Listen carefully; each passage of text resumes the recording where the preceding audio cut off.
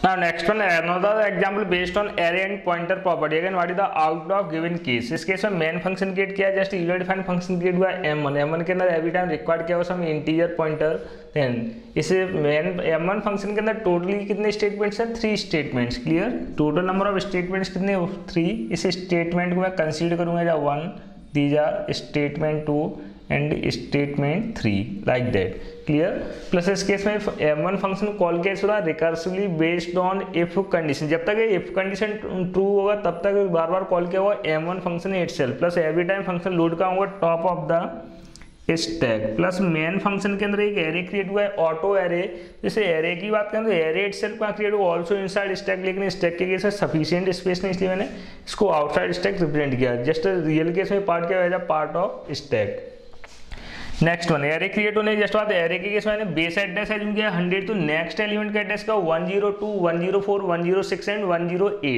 Plus corresponding locations के names क्या star 100 star 102 star 104 same है A zero A one like that next one इसके just बाद call क्या रहा है? एम वन फ़ंक्शन है। एम वन फ़ंक्शन के अंदर सप्लाई किया हुआ? है एरे नेम और एरे नेम के प्लेस पर जस्ट रिप्लेस किया हुआ? है एरे के फ़र्स्ट एलिमेंट का एड्रेस डायग्राम के अकॉर्डिंग एड्रेस क्या है? हंड्रेड तो पास किया वो हंड्रेड। तो फ़र्स्ट टाइम जब एम वन फ़ंक्शन कॉल होगा तो इसके अंदर लोकल वेरिएबल्स कितने क्रिएट होंगे? Just one local variable is P तो पी में आसानी क्या हो जाएगा? हंड्रेड। इससे पहले जस्ट ऑलरेडी कॉल कौन हो चुका है? मेन फ़ंक्शन करेंटली स्टैक के टॉप में लोड कौन हुआ है? Main function plus main function के अंदर कोई भी लोकल वेरिएबल फाउंड हो रहा है क्या?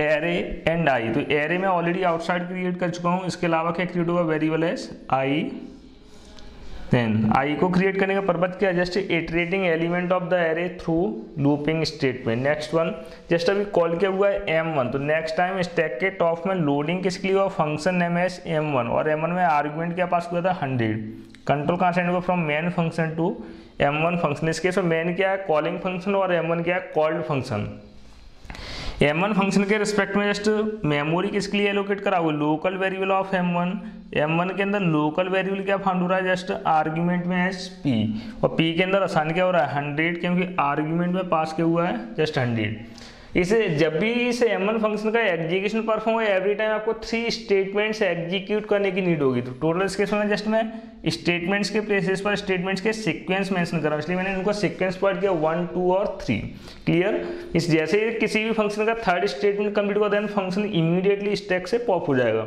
फ़र्स्ट वन सबसे पहले इसके केस में फ़र्स्ट स्टेटमेंट एग्जीक्यूट कराएँ तो फ़र्स्ट स्टेटमेंट के अकॉर्डिंग परफॉर्म क्या हो रहा है? Increment in star P check करो स्टार पी किस लोकेशन का नेम हुआ? पी में करेंटली हंड्रेड स्टोर है तो जिस लोकेशन का एड्रेस हंड्रेड है, उसी लोकेशन का नेम क्रिएट होगा as star P star P किसके लिए? एम वन फ़ंक्शन के पॉइंटर वैल्यू पी के लिए। देन फ़र्स्ट स्टेटमेंट के अकॉर्डिंग परफॉर्म किया है plus plus in star P star P का करंट वैल्यू टू है इंक्रीमेंट होने के बाद वैल्यू क्या हो जाएगी? Three then if condition testing condition test होगा तो स्टार पी के प्लेस पर क्या रिप्लेस कराएँगे स्टार पी का current value which is three condition क्या हो जाएगा इस केस में? Just three less than equals to four condition true और false condition is true condition true है देन अगेन फिर से कॉल क्या हुआ? एम वन फ़ंक्शन तो M one function one more time फिर से कॉल हुआ प्लस अभी तक इसके कितने स्टेटमेंट्स कंप्लीट हो चुके हैं? टू स्टेटमेंट लेकिन थर्ड स्टेटमेंट अभी एग्जीक्यूट हुआ है क्या?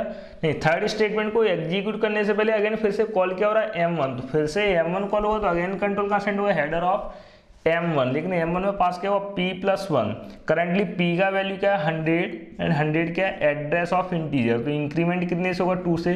फाइनली इस प्लेस पर सप्लाई क्या ज़ीरो टू तो next time again M one function call होगा और एम वन के अंदर एड्रेस क्या पास हुआ है?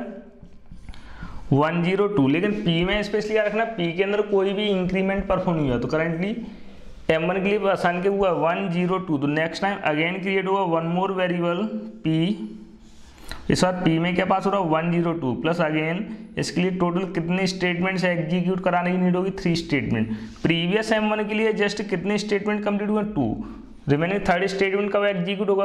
After completing top M one mean जैसे top M one execution complete होगा, इसके जस्ट फिर से चांस किस, किसको लिया थर्ड स्टेटमेंट तो एम टॉप एम वन के रिस्पेक्ट में अगेन सेम ऑपरेशन परफॉर्म करेंगे.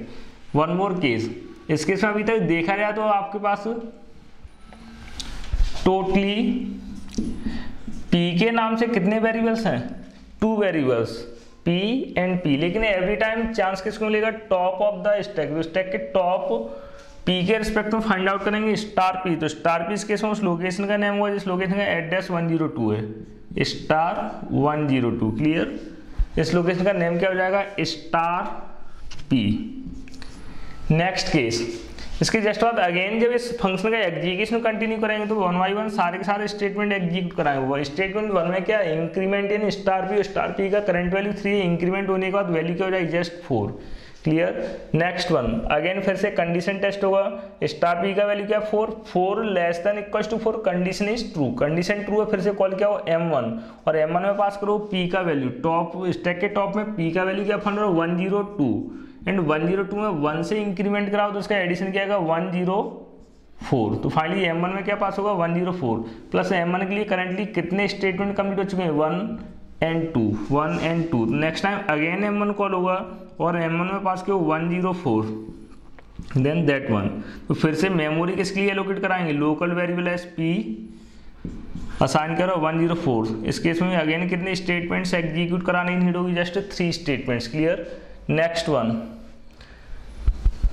फिर से वो फ़र्स्ट स्टेटमेंट को एग्जीक्यूट करना इस केस में again star P new location refer होगा। स्टार पी किसका नेम होगा? जिसका एड्रेस 104 है। क्लियर तो 104 means third element of the array इस लोकेशन का नेम क्या होगा? Star P next time first statement के पॉइंट ऑफ़ व्यू से परफॉर्म क्या होगा? फ़र्स्ट स्टेटमेंट क्या है? Plus plus star P star P में जब प्री इंक्रीमेंट होगा तो उसकी वैल्यू क्या हो जाएगी? Five then second statement perform हुआ। सेकेंड स्टेटमेंट में क्या है? कंडीशन टेस्टिंग स्टार पी का वैल्यू क्या? Currently five five less than equal to four condition become false false है control directly third statement check करने के बाद देन कंट्रोल का हुआ सो सेकेंड के बाद सेंड का थर्ड स्टेटमेंट अगेन परफॉर्म हुआ plus plus star P star P में वन मोर टाइम्स इंक्रीमेंट हुआ तो इसकी वैल्यू क्या हो जाएगी? जस्ट सिक्स इसे एम वन के लिए थर्ड स्टेटमेंट भी कंप्लीट हो चुका है। मीन्स फाइनली इस एम वन का एग्जीक्यूशन कंप्लीट हो चुका है तो कंट्रोल का return back to calling place this one is completed clear अब स्टैक के अंदर टोटल कितने एंट्री मेन एम वन और एम वन क्योंकि टॉप एम वन का एग्जीक्यूशन ऑलरेडी फिनिश करा चुके हैं।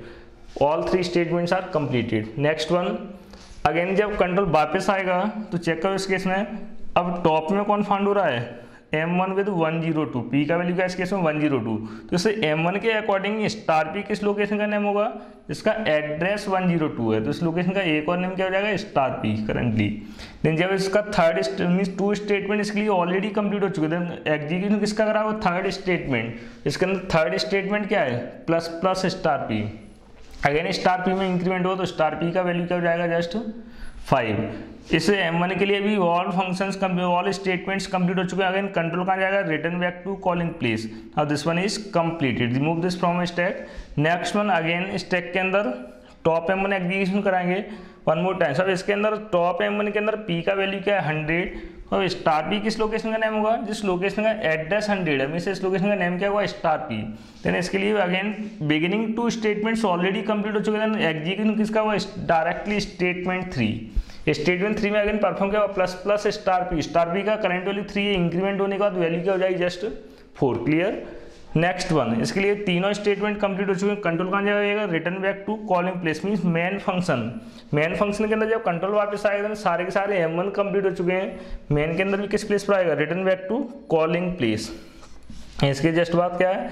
एरे और एरे के थ्रू सॉरी लूप लूप के थ्रू इस एरे के सारे एलिमेंट डिस्प्ले कराएँ। क्लियर इस लूप से जस्ट डिस्प्ले क्या रहा है एलिमेंट ऑफ़ एरे क्योंकि एरे का एग्जीक्यूशन कहाँ से स्टार्ट हो रहा है? From zero to four zero to mean first time I के प्लेस पर क्या है? Zero one A of zero में क्या फाउंड हो रहा है? Four next time five then six then five and six this the output of given example